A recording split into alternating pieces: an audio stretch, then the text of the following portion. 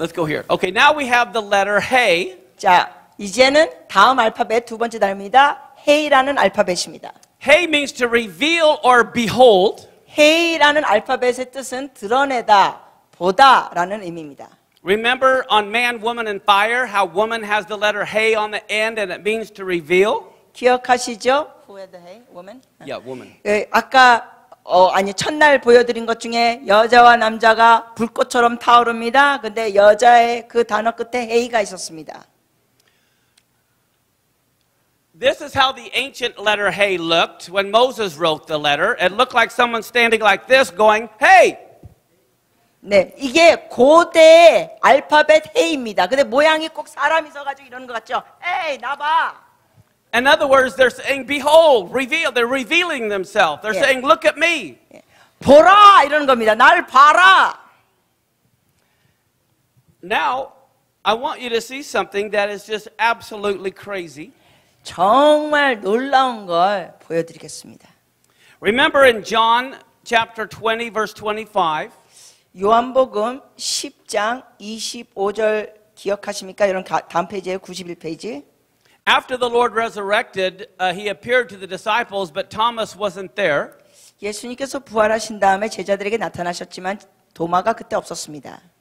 And they tell him, Hey, we've seen the Lord, but he tells them, Except I see his hands, the print of the nails, put my finger into the print of the nails, thrust my hand into his side, I won't believe. 요한복음 20장 25절 우리 같이 합독하시겠습니다.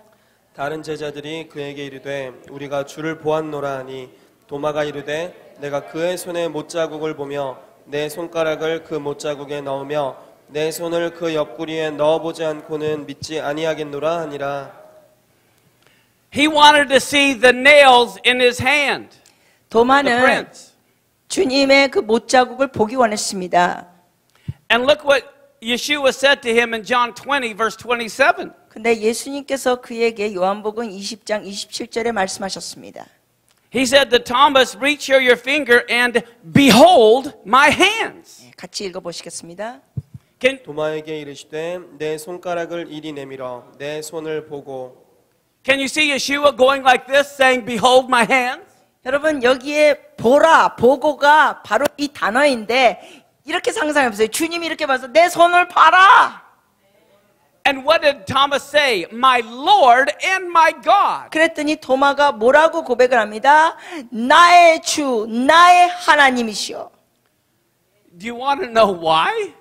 왜 그가 그런 고백했는지 이유를 알고 싶으세요? You know, what is God's name in the Torah? Yahweh. 토라에서 보면 하나님의 이름이 야훼입니다. 여호와, 야훼. Does everyone know that? 아시죠? 모두? It's made up of four letters the Yud, Hey, Vav, Hey. 그런데 이것이 히브리 알파벳으로는 네 개로 되어 있습니다. Yud, Hey, Vav, Hey 알파벳 네 개입니다. And Moses used the ancient picture language, not the modern. 그리고 모세는 현대 그 알파벳을 사용한 게 아니라 고대 그림을 묘사하는 알파벳을 사용했습니다. 히브리어. Here's how he wrote Yahweh's name in the Torah. 토라에 그가 여호와 이름을 이렇게 기록했습니다. The hand being revealed, the nail being revealed. 이 의미가 뭡니까? 손이 보라. 그리고 못을 보라. 와우. Yud, Hey, Vav, Hey. 네. Yud, Hey. 이게 Yud 알파벳 이렇게 Hey 보라, Vav 못 보라. A hand, behold, a nail, behold. 즉 의미는 요게 손입니다. 손을 보라, 못 자국 봐라. So Thomas goes, You're Yahweh. You are Yahweh. 그 단어가 야훼거든요. 그러니까 도마가 고백하는 거예요. 나의 주, 나의 하나님이시여. Can you imagine? In the original Torah, God's name was written, Behold my hands, behold the nail.